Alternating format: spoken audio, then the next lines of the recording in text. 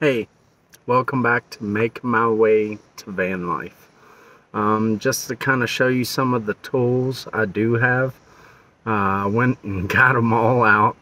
Uh, a lot of them are tools that I keep in my van uh, because I expect to be making this build very soon. Uh, I need some organization bins. Um, I need some couple extra places to put things. Uh, I know me and my girlfriend will probably be traveling together, and uh, I'm probably gonna have to make some sort of bed that will fold into one. Um, I've seen those videos on YouTube, but uh, let's go ahead and take a look at uh, some of these items that I already have.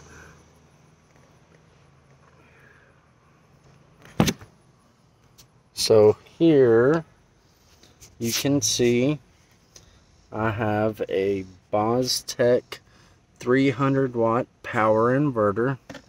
Has your on and off switch. Has two plug-ins plus two USBs. That light turns on red when you use it. Over here I have a number of drill bits uh, I got this kit from Walmart. Luckily, it came with a couple of extra little bits. So that was nice. This here, I really love. Um, put that on any tool you have, uh, screwdriver, and uh, really makes it nice if you need to get in those hard places. Um, now, I will be installing a Maxxair fan in the roof, so I expect these Milwaukee drills to be put to good use. Um, as you can see, I love my knives. I love my flashlights. Um, I have this kit here. This is a little ratchet set. And uh, you just change that each direction. And then you can attach all of those different bits uh, to make it work for you. Um, over here, we have what is your standard wire stripper.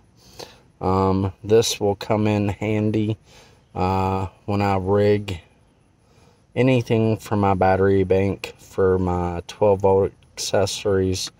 Um, but uh, it's a really nice tool to have. Um, you can also see Have a hand crimping tool which usually goes for these items. And these items are typically used on solar, if I'm correct. Uh, but it will crimp these items to where uh, you won't have any wire sticking out. Uh, obviously, I mentioned in my previous videos about getting my AC fixed. So, uh, that'll be fixed very soon. Um, you see here, you also have a wire crimper set. Comes with a number of uh, attachments there to make things easy when I do that. I do have, let's see here, this Boss, um, which is used for a car audio, but uh, it's a fuse box. I'm not sure quite the amperage on there, but I'm sure it'll be put to good use. Um, as you know, you always want to have one of these. It works. It's lasted a long time. Uh, turn that off.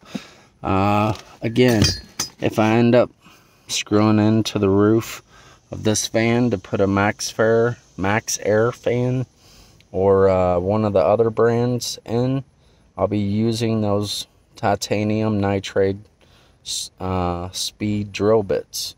Um, we have your basic tool kits here. Let's see if I can do it without making a mess today. I cleaned up the mess I made yesterday. Um, so I have basically every size you'll need there.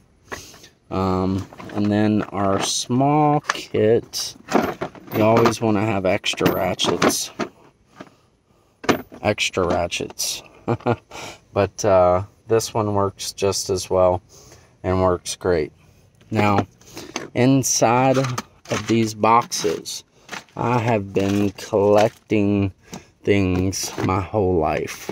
Uh, call me a hoarder, call me what you will. But I have uh, tools for rogue kits, air pumps, hangers, stuff like that. You have your uh, uh, stuff for water pump sealants, things of that nature. Your extra size extensions.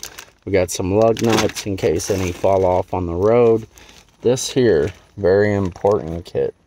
Uh, that way you can plug your own tire. You don't have to pay 50 bucks. And I did have all of this stuff labeled, but uh, a lot of it's miscellaneous. Uh, but you can see there's grommets in there, um, things you can use for the build itself. Uh, this is a package of any extra wrenches or inserts um, or screwdrivers, anything extra. Let's see what else. Uh, we have a lot of tiny screws and plugs and uh, extensions and let's see more grommets magic marker stuff like that so let's put all this back in here and this is a little kit that came with screws. And uh, as you can tell the uh, the screws on on that give you the sizes. And that'll come in handy eventually. Um, over here and this let's see. Gotta have your zip ties always need your zip ties and then you have your little extra you know screwdrivers attachments to make sure things hold on uh, snippers, um, really large wrenches, and uh, about everything you need there.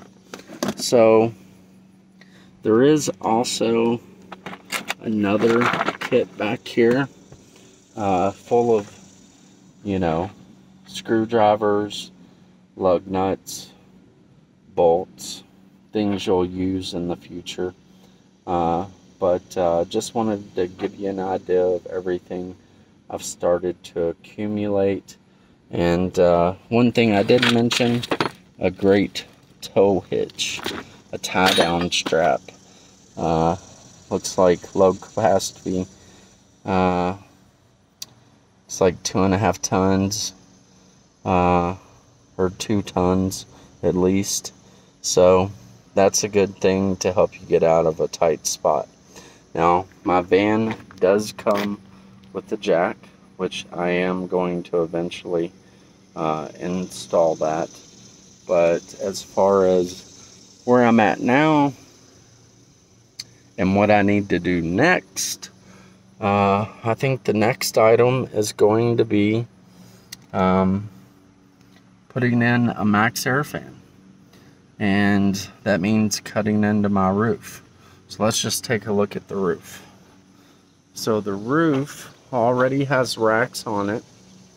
The Maxxair fan, I'm assuming based on where we would sleep, would probably go right here at the end.